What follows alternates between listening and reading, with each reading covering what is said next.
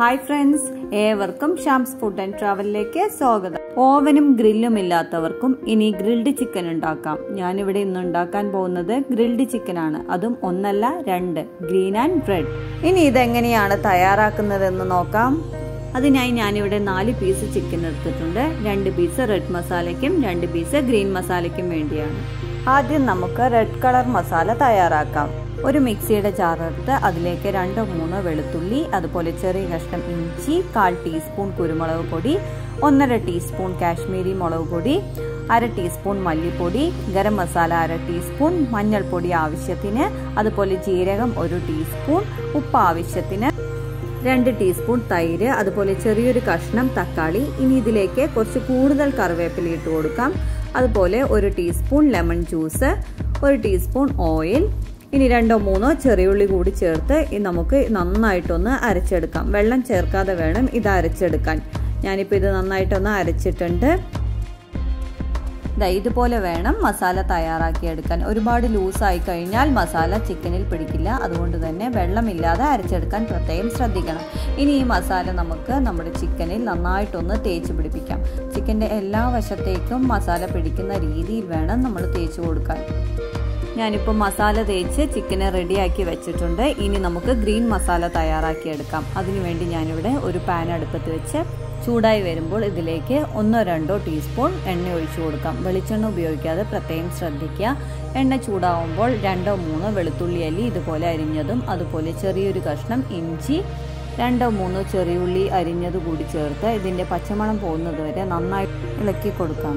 ഇനി ഇതിലേക്ക് എരിവിനാവശ്യമായിട്ടുള്ള പച്ചമുളക് അതുപോലെ കുറച്ച് കറിവേപ്പില ഒരു കൈപ്പിടി പുതിനയിലയും അതുപോലെ മല്ലിയിലയും ചേർത്ത് നന്നായിട്ടൊന്ന് വഴറ്റിയെടുക്കാം.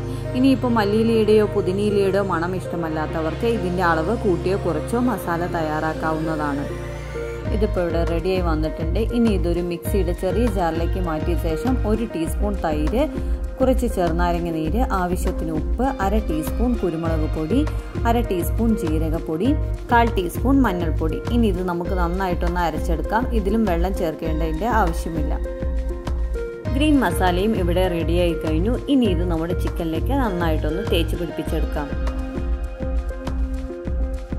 ഒരുപാട് മസാല കൂട്ടുകൾ ഇഷ്ടമല്ലാത്തവർക്ക് ഈ ഒരു ഗ്രീൻ മസാല ഗ്രിൽഡ് ചിക്കൻ പരീക്ഷിക്കാവുന്നതാണ്. ഞാൻ ഇതിവിടെ ഒരു മണിക്കൂർ റെസ്റ്റ് ചെയ്യാൻ വെച്ചതിന് ശേഷം കൊണ്ടുവന്നിട്ടുണ്ട്. ഇനി ഇത് നമുക്ക് ഗ്രിൽ ചെയ്തെടുക്കാം.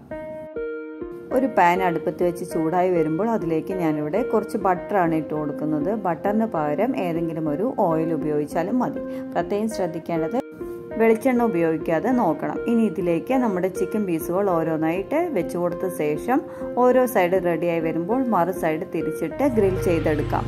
തിരിച്ചിടുന്ന സമയത്ത് ചിക്കനിൽ കുറച്ച് ബട്ടറോ ഓയിലോ തൂവി കൊടുക്കാൻ മറക്കരുത്. ഗ്രിൽഡ് ചിക്കൻ ഇവിടെ റെഡിയായി വന്നിട്ടുണ്ട്. ഇനി ഇതുപോലെ ഗ്രീൻ മസാല ചിക്കൻ കൂടി ഗ്രിൽ ചെയ്തെടുക്കാം. മസാലകളൊന്നും തന്നെ ചിക്കനിൽ നിന്ന് വേർപെട്ട് പോകാതെ ചിക്കൻ നന്നായിട്ട് ഗ്രില്ലായിട്ട് വരുന്നുണ്ട്. നമ്മുടെ ഗ്രീൻ മസാല ഗ്രിൽഡ് ചിക്കനും ഇവിടെ റെഡിയായി കഴിഞ്ഞു. ഓവനും ഗ്രില്ലും ഒന്നും ഇല്ലാതെ തന്നെ ടേസ്റ്റി ആയിട്ട് ഉണ്ടാക്കാൻ പറ്റുന്ന ഈ ഒരു ഗ്രിൽഡ് ചിക്കൻ എല്ലാവരും വീട്ടിൽ തയ്യാറാക്കി നോക്കി അഭിപ്രായം അറിയിക്കണം. ഈ ഒരു ഗ്രിൽഡ് ചിക്കന് ഞാനിവിടെ ഹമ്മൂസാണ് സൈഡ് ഡിഷായി എടുത്തിരിക്കുന്നത്. ഹമ്മൂസിന്റെ റെസിപ്പി വേണ്ടവർ താഴെ കമന്റ് ചെയ്യുക. അടുത്തൊരു വീഡിയോയിൽ ഞാനത് ഉൾപ്പെടുത്തുന്നതാണ്. ഈ വീഡിയോ ഇഷ്ടമായാൽ കൂട്ടുകാർക്ക് ഷെയർ ചെയ്യാനും അതുപോലെ സബ്സ്ക്രൈബ് ചെയ്ത് തൊട്ടടുത്തുള്ള ബെല്ലൈക്കൺ അമർത്താനും മറക്കരുതേ. താങ്ക്